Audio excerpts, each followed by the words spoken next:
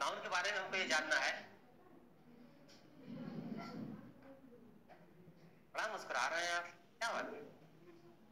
Sir मेरा बचपन में अंग्रेज़ी पढ़ने का बहुत शौक था। आज पढ़ रहा हूँ बहुत मज़ा आ रहा है। मज़ा लेने की ज़रूरत नहीं है। जरा खड़े हो तो। बताओ नाउन नाउन की डेफिनेशन क्या बताओ।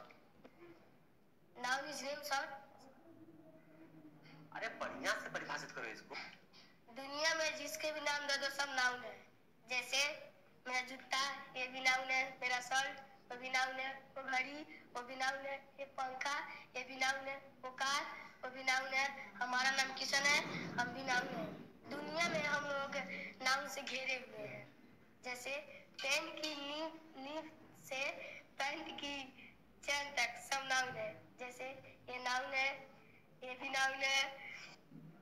अरे डेफिनेशन क्या है डेफिनेशन बताओ वही तो बता रहा हूँ सर एग्ज़ाम में ये लिखोगे? नाउन हाँ? ये लिखोगे नाउन और कोई?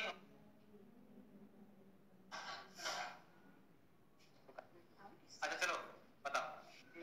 Noun is the name of any person place and thing or any idea जहाँ पर राजू का जो बुक रुक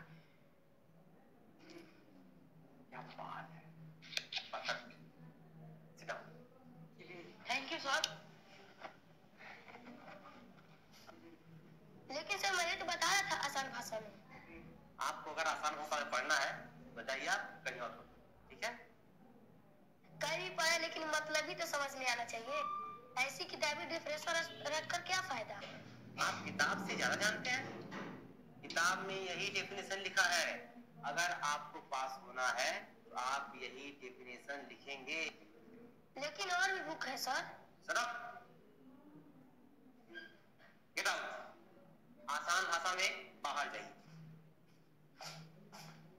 हाँ चलिए कोई बात नहीं हम लोग आज पढ़ रहे थे नाउन ठीक है?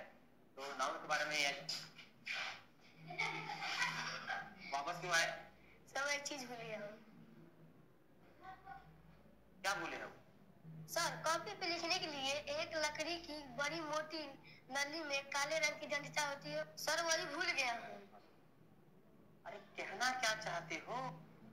Pencil sir, pencil. तो सीधे आसान भाषा में क्यों नहीं कहते? थोड़ी देर पहले सर कोशिश की थी, लेकिन आपको सीधा सीधा बात में समझ में नहीं आती।